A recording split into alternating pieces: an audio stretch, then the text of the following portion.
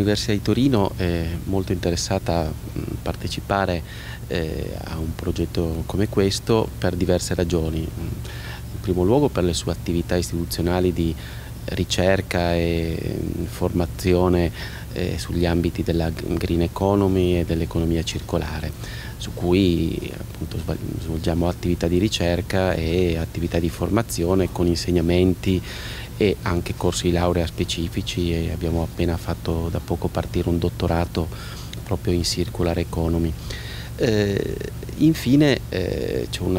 un'attività che riguarda la cosiddetta terza missione dell'università. Eh, L'Università di Torino da più di un anno ha avviato un percorso esplicito di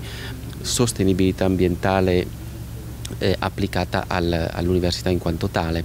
Quindi l'università intesa come organizzazione, come comunità che coinvolge oltre 75.000 persone tra studenti, personale tecnico amministrativo e docente. Abbiamo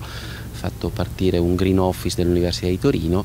e quindi in questo senso l'università è di per sé un'organizzazione che eh, sta cercando di diventare più verde, un'organizzazione eh, complessa, articolata, con molti centri, dipartimenti, eh, già nella sola localizzazione l'Università di Torino ha oltre 120 sedi di cui oltre 100 nella solo Torino, quindi già solo ognuna di queste sedi pre presenta problematiche dal punto di vista di una eh, maggiore sostenibilità ambientale che sono eh, importanti da affrontare. In questo senso l'università eh, si offre con tutto il supporto per quanto riguarda le attività di ricerca e di formazione e di per sé come laboratorio di sperimentazione di buone pratiche.